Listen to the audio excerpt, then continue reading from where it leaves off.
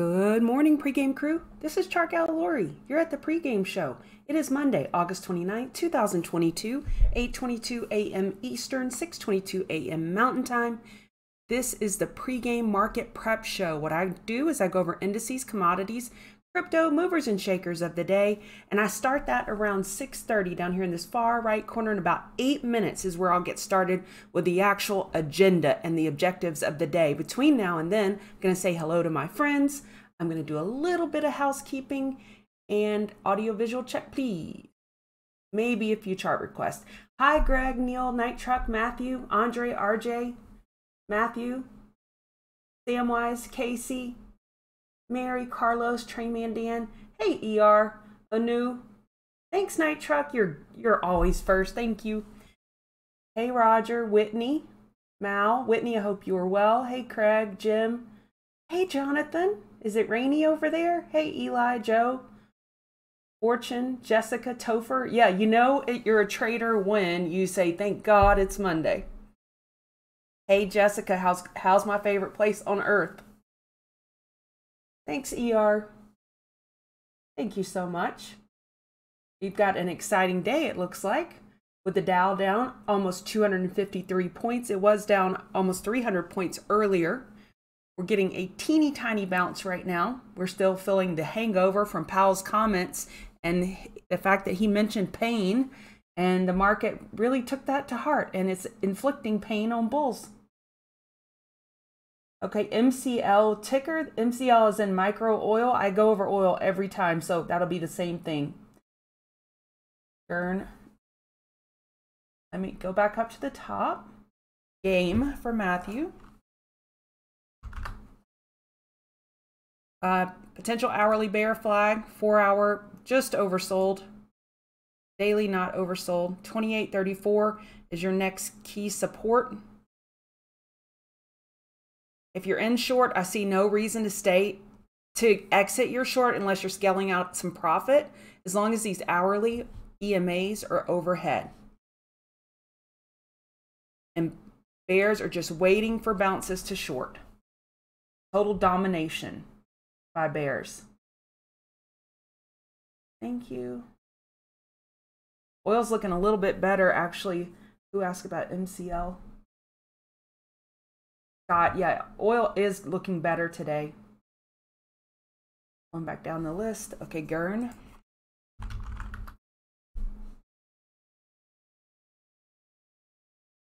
Gurn broke out of that tightening pattern last time. I, I think it was you that asked about it. Potential weekly bull flag on the table. 245 and 246. This is a daily EQ. We have a double top at 245, 246. A clear area for bears to continue to top fish until it stops working. Support 235 and 232. Nice barcode type action. And that's that squeeze. Oh, wrong color pin. Fix that that barcode type action where we're squeezing, squeezing, squeezing.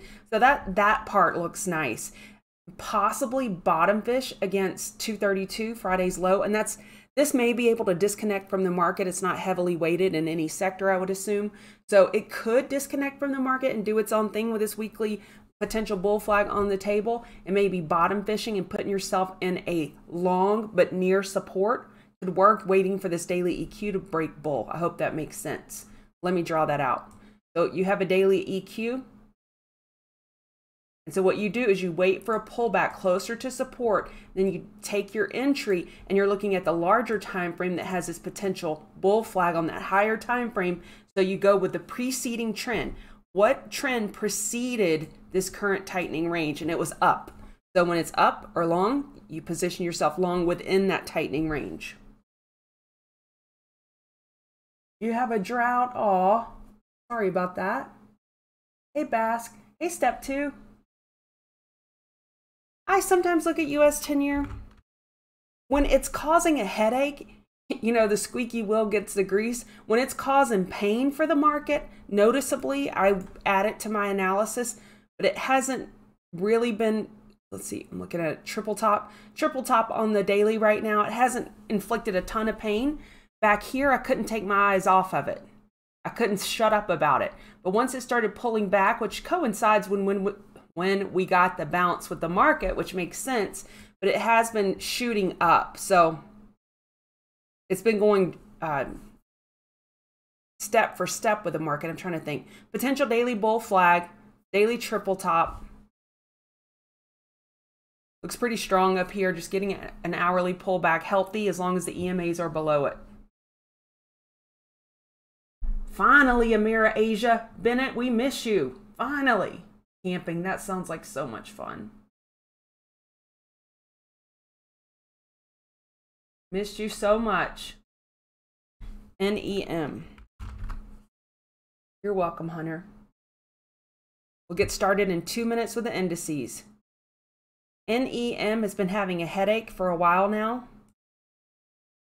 It fell pretty hard on earnings. It is related to precious metals, and gold chart is not looking too spunky either. If we go look at dollar, look at this uh, cup and handle on the daily that confirmed overnight. However, we are pulling back pretty hard here on the dollar. We just keep getting these tiny higher highs without a ton of follow through, kind of like Nat Gas did. Let me go back to NEM. That could help Newmont Mining bounce if gold can get a good bounce going. What you want to see is you want to see it get up and over 42.88, this daily double bottom, before regular trading hours open. So it's trying to do that right now with the gold bounce. Morning snow for my girl. Snow looks good. Okay, snow. Let's see if, if it is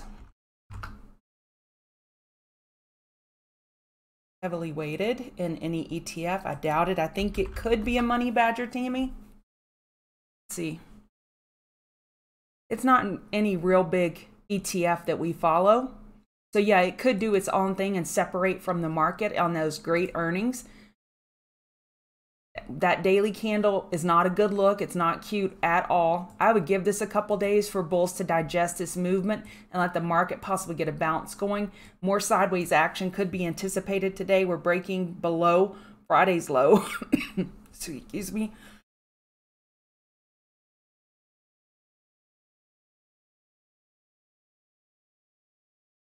If we get oversold, yeah.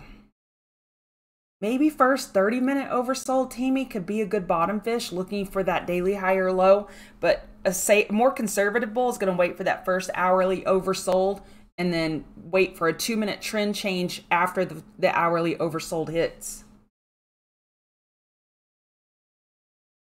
All right, it's 8:30. Let's get started. Good morning. This is who I am, Chart Gal Lori you want to give me a follow on Twitter at ChartGalLori, I'd appreciate it. You can check us out, what we do at chartguys.com. I'm part of the Chart Guys, and what we do is we teach technical analysis. So every morning I step in here, we go over the Fab Four indices, and I have my notes on another screen. I use those to just kind of keep me organized. TCG members will get those notes when I'm done talking with the show. I'll copy and paste it in our chat room so y'all can slice and dice it. So I go over indices, commodities, crypto, and movers and shakers of the day. And my goal is to get you ready for the trading day. Do I have a crystal ball? No.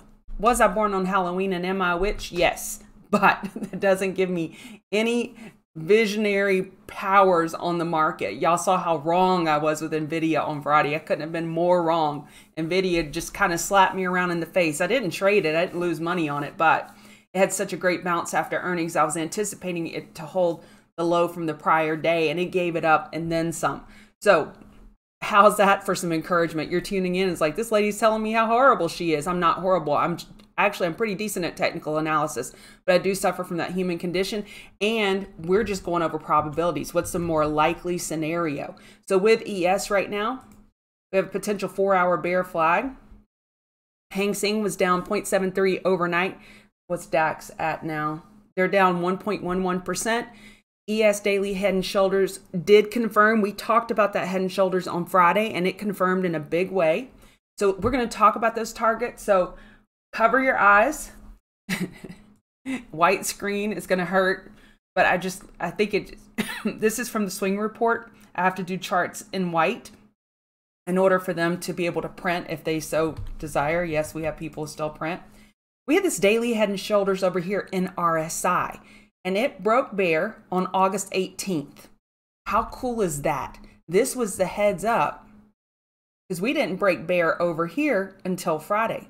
It broke bear right here at this lower high, the head and shoulders, right here. That was a nice heads up of incoming, what's incoming. And we've talked about it before. It's a chicken and an egg conversation. Does price precede news or does news precede price? And in this case, I would say that the chart preceded the news. The chart, we had this topping pattern right here at the daily 200 MA, and we were all watching it. We pulled back, and then Powell makes his comments Friday that he sees no uh, slowing and raising the rates, no slowing in inflation. So they have to stay the course and keep raising rates. That's the only tool available to them. So, with that being said, the measure the measurement of the head and shoulders on price. So we talked about the head and shoulders on RSI. Now I'm talking about it up here in price. The left shoulder, head, right shoulder, we confirm to the downside. The height of the head from the left shoulder neckline to the top of the head is about 5.24%. If we break below 5.24% from the neckline break, the measured move, and that's just an estimate, the measured move is down at 38874. 38874. Now, if you've been around these parts, you know I've talked about this about 4,000 times. I can't shut up about it. This dark pool level. We have $11.62 billion of notional value that went off at 38995. And I was telling y'all about this level before we even closed at 38995 here. I'm gonna have to change the pen color here. And then we were in, when were we? See, one second. This is when we were in Asheville over here on this green candle on June 24th, and we closed at 390.09. And I was telling everybody 389.95, 389.95. I was tweeting it, and that continues to be a very key level. So we're at we're at the daily 50 MA right now on ES. These are the two key levels I'd, I would strongly suggest you keep on your chart: the daily 50 MA and the dark pool level at 389.95. Okay, now let's switch back to ES. Let's go look at the daily. Let's get this Mishigas out the way. You see we're sitting on that daily 50 MA. Let me get in there so you can see it. Do you see it? The yellow is the daily 50 MA. If you're interested in my chart setup, you can click on the link below in the video description to receive a PDF explanation as to what all these colors mean. And also, we have a video on YouTube how to set up your chart like Dan or Lori. So we're, we're sitting on that daily 50 MA. So y'all know what I'm going to say that can, that typically offers strong support, strong support. So let's see if Powell's comments are going to induce even more fear selling and capitulation, which we saw. If you're in the chat room, you, you saw I posted it and I showed evidence. The dark pool blocks that started flowing in after Powell spoke it told us we were going to have a trend day. How many of you saw my comments or saw anybody's comments, or who cares who said it? Did you trade Friday bearishly and in a trend manner? Identifying trend days early on is the key to profitability because 70% of the time, we're doing this sideways action 70% of the time. That's a hard environment to make money unless you're a premium seller which I is my favorite way to trade. So that's hard to make money. So on those other 30% of the time, oh crap, I got rid of my notes, but I have them on another screen. So 30% of the time we're going to have a trend day, either bull or bear, and identifying those days early on are really important. And I call it reading a room, stepping in and being able to read the room. So the, the question is will they be able to shake off the, the Powell comments and get a little bounce going today? I think it's highly possible that we do get a bounce, but I will be looking for overbought conditions to short. That is my name of the game. So we have a gap over here at 404275, and those typically act like magnets. We could go up and touch, let's go get very specific about it. We could hit 4087, 408725. that dark pool money, Paul, it was a lot of selling it was a ton of selling coming in, and the an all dark pool, all transactions have a buy and a sell. You can't have a seller unless you have a buyer. You can't have a, you know, it takes two to tango. But the question is, is it coming in on the ask or the bid? And th- so that tells you, is it more buying pressure or selling pressure? I could look at tick cumulative and know, I can know that it was selling, selling pressure because I, they were selling more on the downtick than they were buying on the uptick, and advancers and decliners were showing me they were throwing away the baby with the bathwater. I didn't have to guess; it was selling. Period. So all those dark pool blocks that came in right after Powell spoke, and, and it came in right after he talked, and then they kept hitting it all day. It's like, well, now I want to throw away this. Okay, well, now I don't, I'm going to throw this away too. It was all day long. And we saw that obviously in the price action. You didn't need that data to know there was big institutional selling. You can look at the price, the uh, bear volume. Okay, back to the charts 408725. That keeps a bear flag alive. I'm looking for a gap fill I'm actually in long right now. I'm in a very tiny long looking for this gap fill. And then I will switch to short once we can get a five or 15 minute overbought. Five minutes approaching overbought. You see that? And as soon as we start approaching overbought, we get an upper wick of selling. So I'm looking for overbought conditions to short. Did I give you the key levels? No. Let me do that. Resistance 404 075. Support 401550. 401550. Bear flag on the table. In queue. Luciana. Jorge, you always got something to say. My goodness. All right, NASDAQ is is losing the daily 200 MA, but we have not closed below it yet. We have until later in the day until this bar closes. So I'm not saying it's lost the daily 50 MA yet, but it sure is pretty close. Potential four hour bear flag. 1271425 keeps a bear flag alive. 1271425. Getting a little bounce here. You see we're approaching five minute overbought and then bears are waiting. Is there a bear over here in these icons? And I know I can get it from the internet now. I should have done that. So, oh, my little doggy's barking. So let's just pretend like I can draw. Let's all pretend. These are all bears waiting up here. They are waiting for it. To, it's about to go down. They're doing Kevin Hart.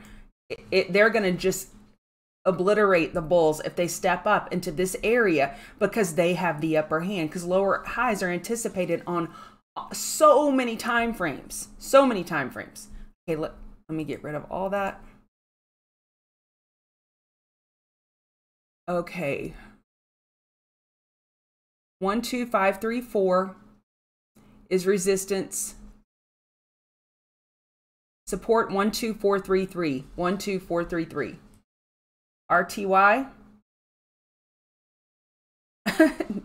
Daniel, no, I was not up all night drinking whiskey and smoking camels. I have asthma, but thanks for the Lord have mercy. Resistance 1889.30. Support is 1871.70.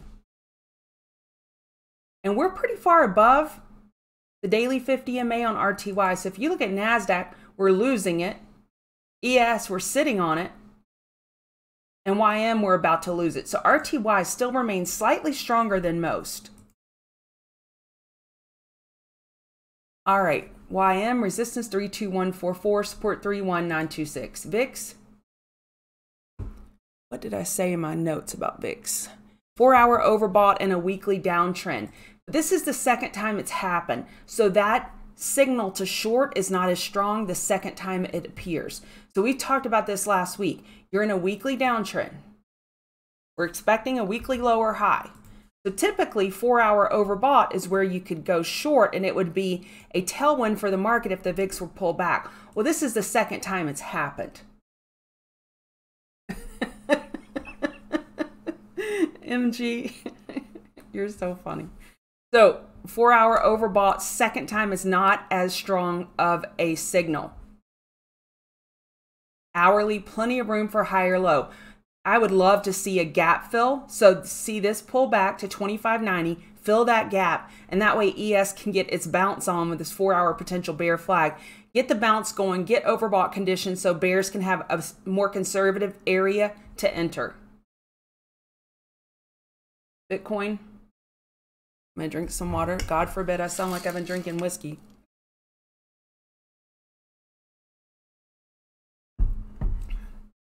Bitcoin got an hourly higher high. We're running into the Great Wall of Louisiana.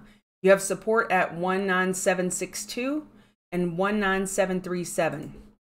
I was looking earlier, we had these triple four hour inside bars. We're breaking bull, but we, we need to get over 2015867 to feel better that this 19513 low is in. I would say right now with this hourly higher high, it is most likely in. This is the low for now.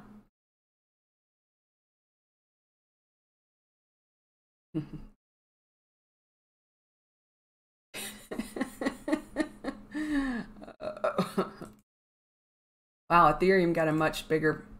I'm either being annoyed or entertained by chat today. Both y'all are providing both. Thank you. 1497 and 1495 double top right now. We had a double inside bar bull break on Ethereum, but we're unable to get through this 1497 for now. And your support of 1420 is most likely this low is in for now. On the four hour, the question is, can we make a four hour higher low? All right, gold. Gold getting its bounce on while, get your freak on, while dollar is taking a breather.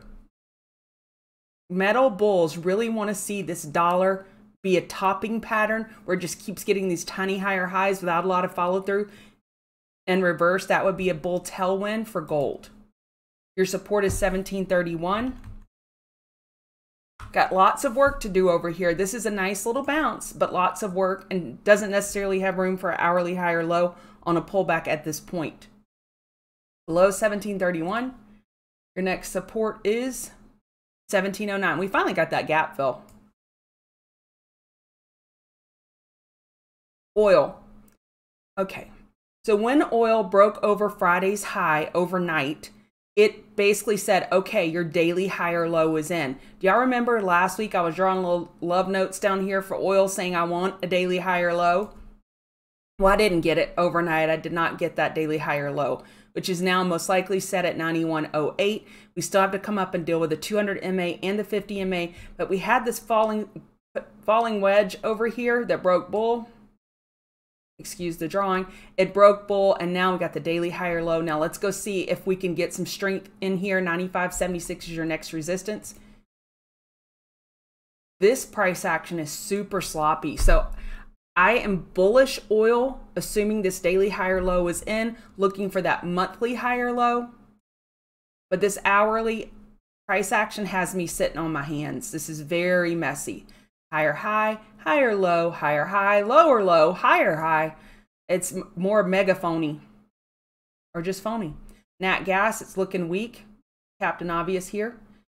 So we have the pits. They open in 15 minutes. The commodities pit is in Chicago. They open up in 15 minutes. We got volume coming in ahead of that. You have support down at 905. So we got a bunch of bottoms in this area. Let's see if it can hold. There were some headlines that gas over here. was headline European natural gas futures plunged 20%. So to me, that was a pretty big bearish headline. And that headline actually didn't cause an immediate drop. So it gave an opportunity for bears to enter or potentially enter nat gas bearish. Four hour lower low is likely set now, and your resistance 9711. So this has a 12 hour head and shoulders that confirming now. We talked about this on Friday. It needs to get below 905, I would say, to confirm, and it's not quite there yet, but it's still looking pretty bearish. Apple. So Apple, first four hour oversold. So we're not necessarily in a weekly uptrend. This is just a V shape. But a weekly higher low, of course, is the more likely scenario, but we're not in a weekly uptrend. So we like to say we look for four hour higher lows and weekly uptrends. when, excuse me, for four hour oversold, attempting to scout a weekly higher low.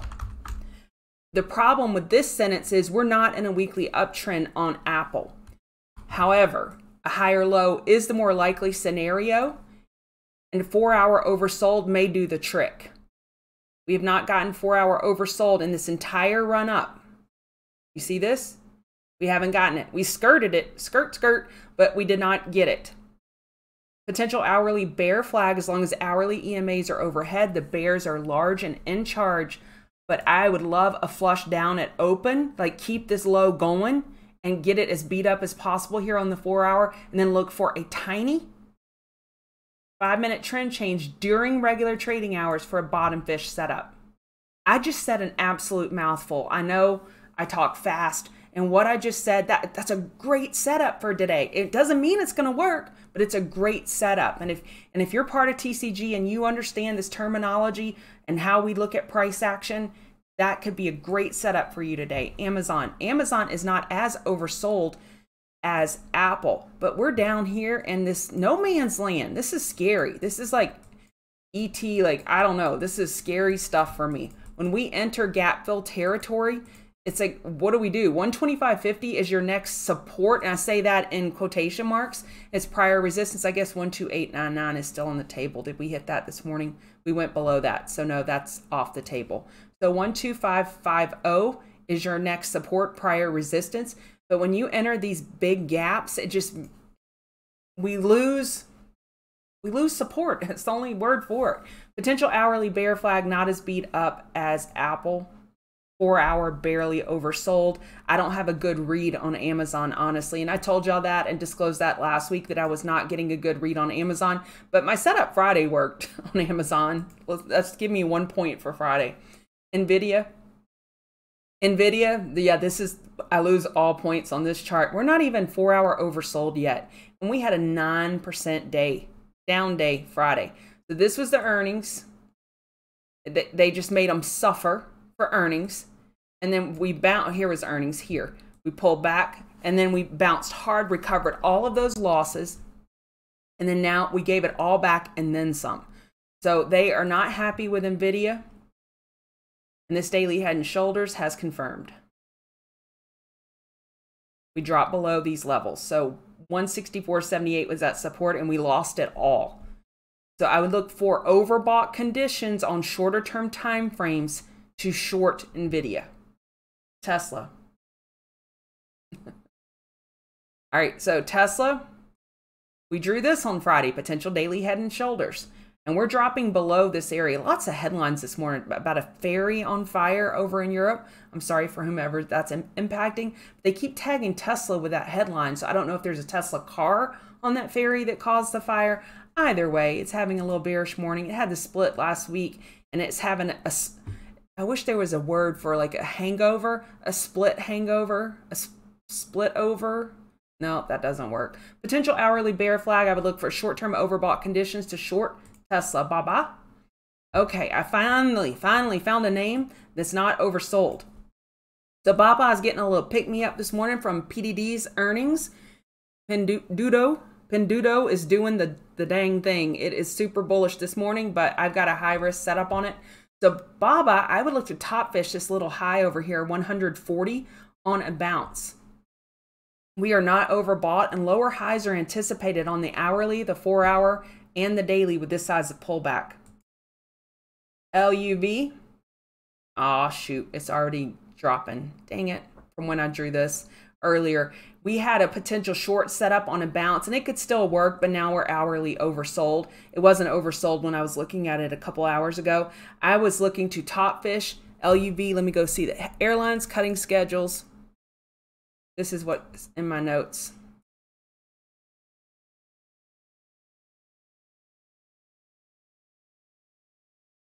Airlines cutting schedules due to labor shortages, top fish setup. So any of the airlines, this one's not hourly oversold right now, so this one may work, AAL. I wouldn't short this one. But I would wait for bounces on airlines, but I think you have a good short setup on airlines on any bounce. Oxy, moron. No, Oxy. I'm looking for an hourly first oversold, and you see I have a little orange triangle down there. That is my alert setup. Looking for first hourly oversold and this big uptrend potential daily bull flag, trying to nail that daily higher low. This is Buffett's darling, therefore it's Lori's darling. Looking for first hourly oversold on Oxy. PDD,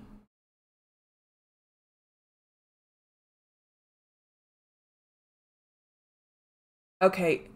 Oh, Whitney, BA had bad news too. I didn't know that. Okay, this is going to be controversial.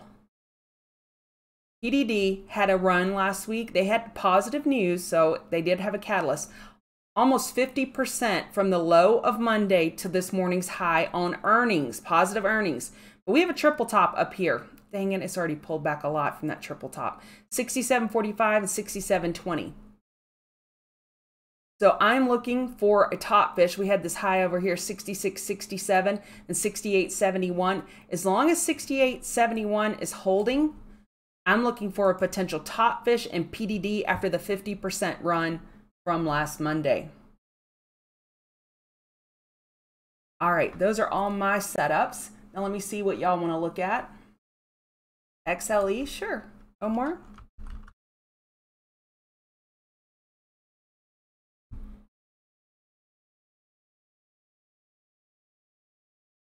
So with Oxy, the first hourly oversold, this same setup may work on XLE. The chart is, is not as strong as Oxy, but it's still a strong chart. So Omar, I would look for first hourly oversold. I would look for it. So I'm setting alert for myself. First hourly oversold on XLE for a long. And that's with my knowledge that oil has that daily higher low most likely set and a potential bull flag setup pattern. So that has me more bullish on XLE. But XLE, it needs the market to be bullish and oil. So it would really benefit if the market could get a bounce going. Otherwise, it may be too big of a headwind for XLE to get a bounce.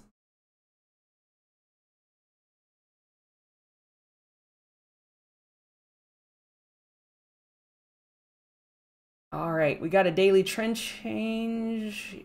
Eh, looks like we already had a daily uptrend.